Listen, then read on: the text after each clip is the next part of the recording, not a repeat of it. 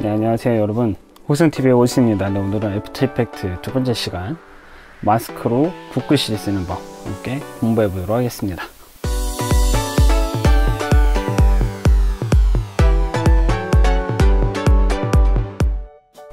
네, 여러분 붓글씨 만들려면 After Effect 기본적으로 composition 만들어야 되는 거 기억하시죠?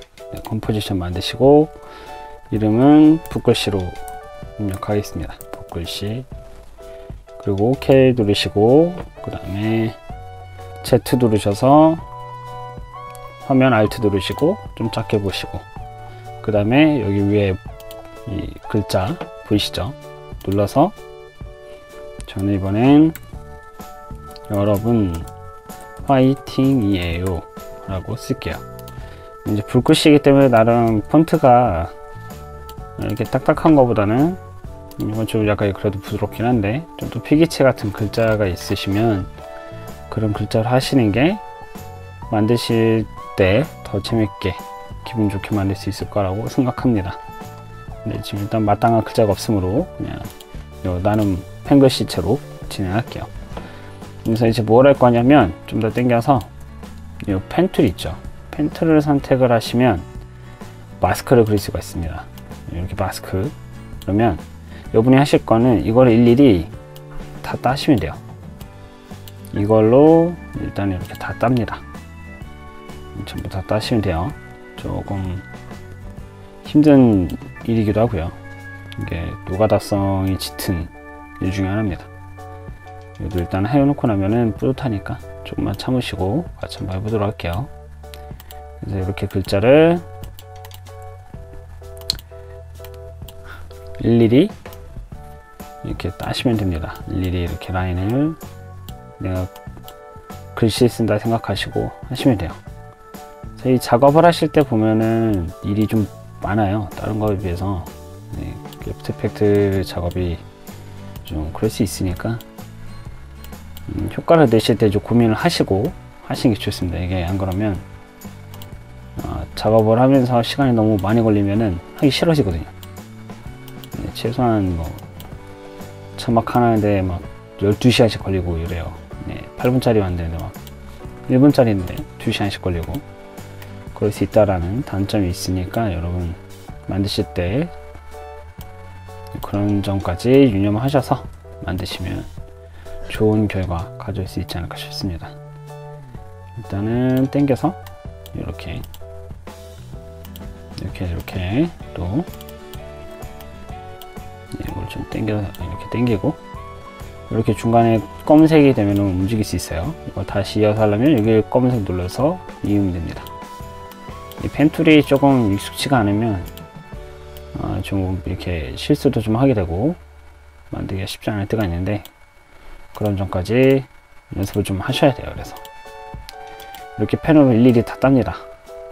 지금 제가 이거 하는 거 이렇게 당겨서 이렇게 생기는 건요 어, 드래그를 하시면 돼요. 이렇게 찍고 나서 떼지 마시고 드래그를 하시면은 조절할 수가 있고요.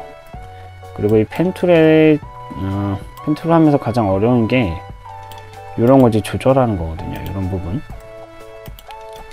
네, 이런 부분까지도 지금 조절하는 게 쉽지가 않아요. 이렇게. 이렇게 꾹 누르고 이렇게 당기면 모양이 조금 다르게 펜툴을 모양 만들 수 있다는 거 아셔야 돼요 그래야 이게 이렇게 휘어서 이렇게 이런 식으로 만드실 수가 있습니다. 이게 좀 펜툴이 좀 다루기가 좀 쉽진 않아요. 포토샵하고도 달라서. 네, 이렇게 계속. 이렇게 계속해서 따시면 됩니다. 네, 좀 길죠? 지금 길고 사실은 어, 제가 긴 글을 좀 만들었어요. 그래서 복잡합니다 지금. 네, 지금 어떻게 될지 저도 모르겠지만 어, 네, 길어서 지금 아무 말 대잔치 하고 있는 거예요 여러분.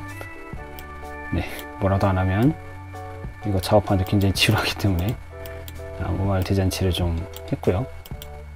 아무 말 대잔치도 잘해야 돼요. 잘하는 것도 능력이에요 여러분. 어쨌든 지금 거의 4분째 펜툴만 쓰고 있죠.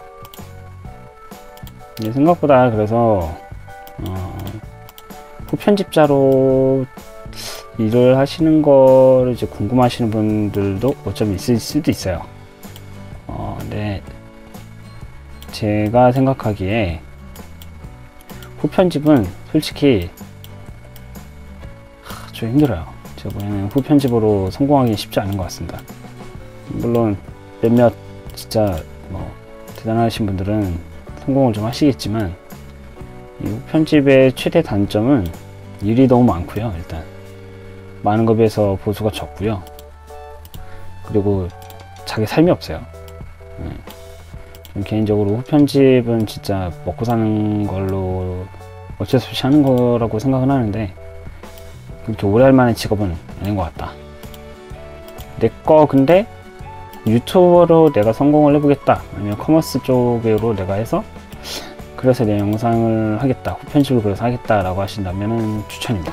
어쨌든 붓글씨 다 만들었죠? 네, 이렇게 pen tool 다 하셨으면 effect 창 들어가셔서 네, 여기 effect generate 들어가시면 generate 들어가시면 stroke가 있어요. 이 stroke를 하셔서 색깔을 바꾸시고 두께를 조정하시면 돼요. 일단은 좀 튀어야 되니까 노란색으로 갈게요. 두께는 brush size 25 정도로 한번 해볼게요. 딱 덮이죠? 25는 좀 약간 과한 것 같고 저는 18포인트? 18포인트도 조금. 15로 음, 좀 더 줄여볼게요. 이 정도면 딱 좋을 것 같아요 이 정도로 하시고 시작 포인트는 0초 end 값 스탑워치 누르셔서 2초까지 내가 하겠다 라고 하면 안 되겠죠. 그래서 0초에서 여기 유로 키보드 유로 누르시면 키보드 이 마스크 바로 보이시죠? 스트로크 바로 보이시죠? 이거를 0%로 만들어 줄게요. 0%로 만들고 2초까지 가서 마지막 키프레임은 100%로 만드시는 거예요 그런데 on original 이미지가 아니라 reveal original 이미지 라고 하시면 붓글씨 효과가 완성이 됩니다. 어떻게 되는지 한번 볼까요? 여기서 아, 한 가지 잊지 마실 거 전체 선택 keyframe assistant easy ease까지 해주는 게 좋습니다. 네 여기서 한번 볼게요 일단. 붓글씨 쓰는 효과 네, 이렇게 마무리 지었습니다. 이렇게 그래프 한번 눌려서 더 재밌게 한번 저는 이렇게 마지막에 좀 빠르게 가는 게 저는 좋은 편이에요 네, 이렇게 하시면 이제 붓글씨 쓰는 법까지 여러분께 알려드렸고요. 네, 다음 시간에는 더 재밌는 강의로 여러분을 찾아오도록 하겠습니다. 그럼 여러분 열공하시고 다음에 또 뵙겠습니다. 바이바이.